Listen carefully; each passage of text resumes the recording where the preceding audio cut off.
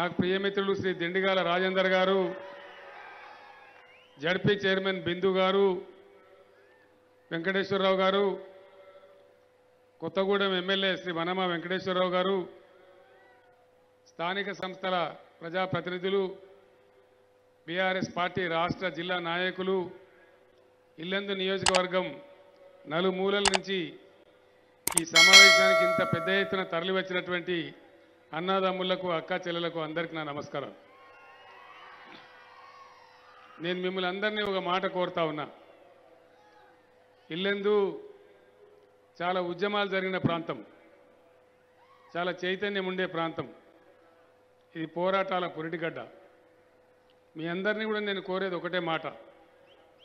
ఎలక్షన్లు చాలా వస్తాయి చాలా జరుగుతాయి చాలా పోతాయి. ఎవరో ఒకరు గెలుస్తూ ఉంటారు. మిమ్మల్ని కోరేది నేను ఏంటంటే ఎలక్షన్లు వచ్చినప్పుడు పార్టీకి ఒకరు నిలబడతారు. ఇప్పుడు బీఆర్ఎస్ పార్టీ తరఫున హరిప్రియ గారు ఉన్నారు. సరే కాంగ్రెస్ ఎవరో ఒకరు వస్తారు. బీజేపీ కూడా ఎవరో ఒకరు వస్తారు. ఎన్నిక జరిగేది ఖాయం. మూడు తారీఖు నాడు కౌంటింగ్ అవుతుంది ఎవరో ఒకరు గెలిచేది కూడా ఖాయం. మిమ్మల్ని నేను ప్రార్థించేది ఒకటే మాట.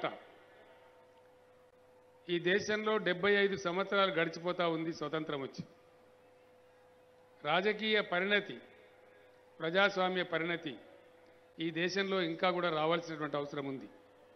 మనమందరం ఇది గంభీరమైన సమస్య మన ముందు ఒక ఒరవడిలో కొట్టుకుపోకుండా ఎవరో చెప్పితే ఓటు వేయకుండా ఒక మోసంలో ఓటు వేయకుండా పైసలకు ప్రలోభాలకు ఓటు వేయకుండా దయచేసి నేను ప్రజలను కోరేది మీకు మీరుగా ఆలోచించి చైతన్యంతో నిజమేది సత్యమేది అసత్యమేది? ఏది మంచిది ఏది చెడ్డది? గుర్తించి ఓటేసే కాలం వస్తేనే ఎన్నికలలో ప్రజలు గెలుస్తారు అని చెప్పి నేను మనవి చేస్తా ఉన్నా. ఎన్నికలలో ప్రజలు గెలిచే స్థితి రానంత వరకు ఈ దేశం ఇట్లాగే ఉంటుంది బాగుపడదు అని కూడా నేను మీకు ఖండితంగా చెప్తా ఉన్నా. మీలో ఒకటిగా మీ బిడ్డగా కొట్లాడి తెలంగాణ తెచ్చిన వ్యక్తిగా ఈ విషయాన్ని మీకు నేను చెప్తా ఉన్నా. అభ్యర్థులు నిల్చున్నారు మంచిదే. అభ్యర్థులు పార్టీల తరఫున నిల్చున్నారు. ఓటు వేసే ముందు మీరు మీ ఊరికి మీ తండాకు మీ బస్తీకి మీ గూడానికి పోయిన తర్వాత కేసీఆర్ చెప్పిన మాటలు దయచేసి చర్చ పెట్టాలని చెప్పి నేను కోరుతా ఉన్నా. కారణం ఏంటంటే అభ్యర్థి వెనుక ఉన్న పార్టీ ఏంది? ఆ పార్టీ చరిత్ర ఏంది? ఆ పార్టీ యొక్క దృక్పథం ఏంది? ప్రజల గురించి ఎట్లా ఆలోచిస్తుంది ఆ పార్టీ? దాని మీద మీ ఓటు రావాలి. ఇక్కడ ఎమ్మెల్యే గెలిచినా ఈ ఎమ్మెల్యే ద్వారా రాష్ట్రంలో ప్రభుత్వం ఏర్పడుతుంది. మంచి ప్రభుత్వం వస్తే మనకు మంచి పనులు జరుగుతాయి. చెడ్డ ప్రభుత్వం వస్తే మనకు చెడు జరిగే అవకాశం ఉంటుంది. మీరందరూ కూడా చూస్తూ ఉన్నారు పదేళ్ళ టీఆర్ఎస్ ప్రభుత్వం వచ్చి. అంతకుముందు పదిహేడేళ్ళు టీడీపీ ప్రభుత్వం ఉంది. అంతకుముందు ఒక యాభై ఏళ్ళు కాంగ్రెస్ గవర్నమెంట్ ఉంది. అందరి చరిత్రలు మీ చేతిలో ఉన్నాయి మీ కళ్ళ ముందర ఉన్నాయి. అందరి వ్యవహార సరళి అందరి నడకలు అందరు అవలంబించిన పద్ధతులు మీ కళ్ళ ముందు ఉన్నాయి మీకు తెలియకుండా లేవు. ఎలక్షన్ రాగానే ఆగమాగమై గోల్మాల కావద్దు. స్థిరంగా ఆలోచించాలి. ఏం చేస్తే మనకు లాభం జరుగుతుందో ఆ దారే పట్టాలే. అదే ప్రజాస్వామ్యానికి దారి. ఓటు అలవోకగా ఎప్పుడు వేయవద్దు. తమాషా కోసం వేయవద్దు. కారణం ఏంటంటే ఈ దేశంలో ప్రజల చేతిలో ఉన్న ఒకే ఒక వజ్రాయుధం మీ తలరాత మార్చేది మీ ఓటే అని చెప్పి నేను మనవి చేస్తా ఉన్నా. మీ భవిష్యత్తును తీర్చిదిద్దేది తప్పకుండా మీ ఓటే. మేము పనిచేస్తాం హైదరాబాద్లో అంటే అది మీరు దారబోసే శక్తే. మీ శక్తి లేకపోతే మేము చేయగలిగేది ఏం లేదు. కాబట్టి జాగ్రత్త ఓటేసే ముందు పరిణతి ప్రదర్శించి నిజమైన పందా ఎన్నుకోవాలి. ఎందుకంటే మార్కెట్లో పోయి కూరగాయలు ఉంటే కూడా ఒక రెండు పుంచులు ఉన్నట్టయితే ఆ పుచ్చిపోయినవి ఉంటే తీసి పక్కన పడేస్తాం. ఒక కుండ కొంటే ఒక కూజా కొంటే కూడా మనం కొట్టి చూస్తాం ఇట్లా ఏలుతోని. ఇది మంచిగానే ఉందా? కుండ పగిలిపోయిందా అని. మరి ఇంత అమూల్యమైన ఓటేసేటప్పుడు ఎవరికి వేస్తున్నామో సన్నాసికి వేస్తున్నామా? సరైన మనిషికి వేస్తున్నామా? ఆలోచన చేయకపోతే మనమే ఓడిపోతాం మన బతుకుల్ని ఎవరు మార్చలేరు అని కూడా నేను మనవి చేస్తూ ఉన్నా. మీ బస్తీకి పోయిన తర్వాత ఈ విషయాలు మీరు ఆలోచన చేయాలి. బీఆర్ఎస్ ప్రభుత్వం వచ్చిన తర్వాత ఎన్ని కార్యక్రమాలు జరిగినాయో మీకు తెలుసు. ఇప్పుడు హరిప్రియ గారు మీతోనే చెప్పించినారు. ఈ పని ఎవరు చేసినారు ఆ పని ఎవరు చేసినారు ఈ పనులన్నీ కూడా మీరు ఒక్కసారి జాగ్రత్తగా గమనిస్తే ఎలక్షన్ మేనిఫెస్టోలో మేము పెట్టింది పది కానీ చేసింది వంద. దళిత బంధు పెట్టమని మాకు ఎవరు చెప్పలే. మేం మంచినీళ్ళ పథకం పెడతాం మిషన్ భగీరథ పెడతాం ఇంటింటికి మంచినీళ్ళు ఇస్తామని ఎలక్షన్ మేనిఫెస్టోలో చెప్పలే. రైతు బంధు తెస్తామని ఎలక్షన్ మేనిఫెస్టోలో చెప్పలే. రైతు బీమా తెస్తామని చెప్పలే. కానీ చేసుకుంటూ పోయినాం. ఎందువల్ల కొత్త రాష్ట్రం కొత్తగా వచ్చింది? కొత్త కుండలో ఈగ వచ్చినట్టు సంసారం ఎట్లా తీస్తామో అటు ఎల్లదీయ దారి లేదు తెన్ను లేదు.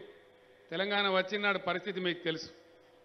మంచినీళ్ళు కావాలంటే ఎంత ఘోరమైన అవస్థ ఉండే ఇల్లేందు నియోజకవర్గంలో మీరే అనుభవించారు మీకే తెలుసు. మరి అలా ఎంత మార్పు వచ్చింది? మంచినీళ్ళు మారుమూల ప్రాంతాలకు కూడా గిరిజన ఆవాసాలకు కూడా ఎట్లా పోతున్నాయో మీకు తెలుసు. అదేవిధంగా కరెంటు లేదు. కారు చీకటి. ఎప్పుడు వస్తుందో తెలియదు ఎప్పుడు పోతుందో తెలియదు కొంత రాత్రి కరెంటు కొంత పగల కరెంటు ఆ బాధలన్నీ మనం అనుభవించినాం. మరి ఇవాళ కరెంట్ ఎట్లా ఉన్నదో మీకు తెలుసు. ఏ పద్ధతుల్లో కరెంట్ ఉందో మీ అందరికి కూడా తెలుసు. ఎంటైర్ ఇండియాలో యావత్ భారతదేశంలో ఇరవై నాలుగు గంటల కరెంట్ ఇచ్చే ఒకే ఒక్క రాష్ట్రం ఇండియాలో తెలంగాణ అని చెప్పి నేను మీకు మనవి చేస్తా ఉన్నా. ఎక్కడ కూడా ఇయ్యరు. బీజేపీ పార్టీ ప్రధానమంత్రి నరేంద్ర మోడీ.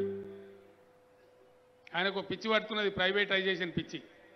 అన్ని ప్రైవేటే విమానాశ్రయం ప్రైవేటు నౌకాశ్రయం ఓడరేవులు ప్రైవేటు రైళ్ళు ప్రైవేటు. మరి చివరికి ఏం చేస్తాడో తెలియదు ఈ దేశాన్ని. కరెంటు కూడా ప్రైవేట్. నన్ను బెదిరించినారు. మీరు రైతుల మోటార్లకు మీటర్లు పెట్టకపోతే సంవత్సరానికి ఐదు వేలు మీ బడ్జెట్ కట్ చేస్తామని చెప్పిన. నేను చెప్పిన ఐదు వేల చొప్పున నువ్వు కట్ చేస్తే ఐదేళ్ళలో ఇరవై ఐదు వేల కోట్లు పోతాయి. కానీ నా తలకాయ తెగిపడ్డా సరే నేను మీటర్లు పెట్టా అని చెప్పిన. కారణం ఏంటంటే తెలంగాణ బతికేందో నాకు తెలుసు. నేను కూడా కాపోయిన నేను రైతునే. నేను కూడా వ్యవసాయం చేస్తా. ఇప్పుడు కూడా చేస్తా. కరెంట్ ఎన్ని బాధలు ఉన్నాయో ఎన్ని బోర్లు వేసినామో ఎంత బోర్లు పడ్డామో ఎన్ని అప్పుల పాలైనమో ఎన్ని అవస్థల పాలైనమో నాకు తెలుసు. ఒక్కొక్క రైతు ఎన్ని బాధలు పడ్డాడో నాకు తెలుసు. తెలంగాణ వచ్చినాడు వలసలు కరువులు కరెంటు లేదు మంచినీళ్ళు లేవు సాగునీళ్ళు లేవు. ఎక్కడోళ్ళు అక్కడ బతకపోయినాం చెట్టుకోగడు గుట్టకోగడైనాం అయినాం. గొడవడ ఏడ్చినాం ఆ రోజు. మనం ఎవరిని పట్టించుకోలే.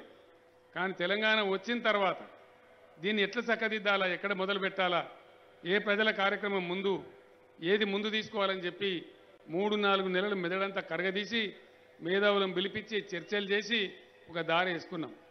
ఈ మధ్యనే కొద్ది కొద్దిగా ముఖాలు తెల్లబడుతున్నాయి. కొద్దిగా పంటలు పండుతున్నాయి. రైతుల ముఖాలు తెల్లబడుతున్నాయి. అప్పులు తీరుతున్నాయి. ఒక రకమైన పద్ధతి పెట్టుకున్నాం. వ్యవసాయ స్థిరీకరణ చేయాలి అని ఒక నిర్ణయం చేసుకున్నాం.